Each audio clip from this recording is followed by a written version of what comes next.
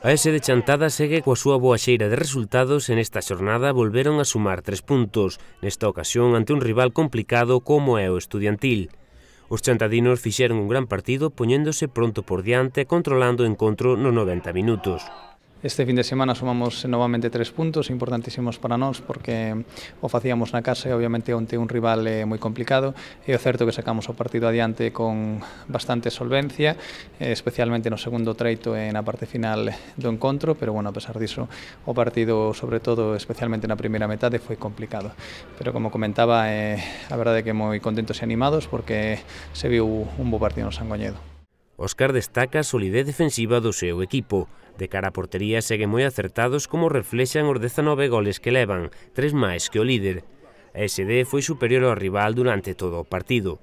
Sí, eu particularmente considero que mm, en certos eh, momentos o Chantada foi superior a este estudiantil e que obviamente se levou os tres puntos eh, por méritos eh, propios, a verdade. Eh, o certo é que no trito inicial do encontro foi o estudiantil o equipo que tivo un poquinho máis a posición, pero nos os controlamos realmente ben e eh, sí que é importante destacar que prácticamente non tiveron ninguna ocasión cara de gol, clara de gol, en cambio, pues, eh, nos no noso caso dispuxemos de varias xa na primeira parte e na segunda, e o certo é que conseguimos pues, tres goles, pero bueno, eh, tamén tivemos eh, algunha outra oportunidade para haber sumado para haber sumado algún máis. Non?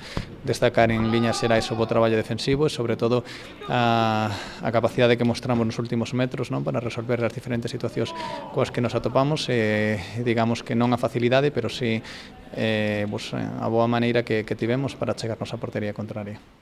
Os chantadinos continúan cuarto na táboa a tan só unha vitoria do líder.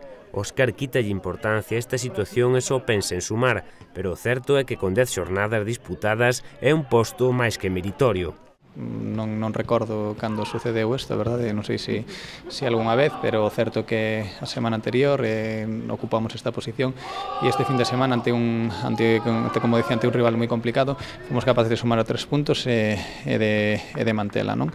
Pero bueno, eh, neste sentido certo é que mm, en estas alturas da temporada pois eh, ese posto simplemente pues, é, é anecdótico, o importante é seguir sumando puntos, obviamente superar esa barreira de, eh, de os 20 canto antes e sumar todo o que poidamos nesta primeira volta porque bueno, sabemos que na segunda todos os equipos van a apretar os que poidan eh, fichar porque sabemos, porque vai suceder así, que sete ou oito equipos poidan perder a categoría novamente pois, pues, esta tempada.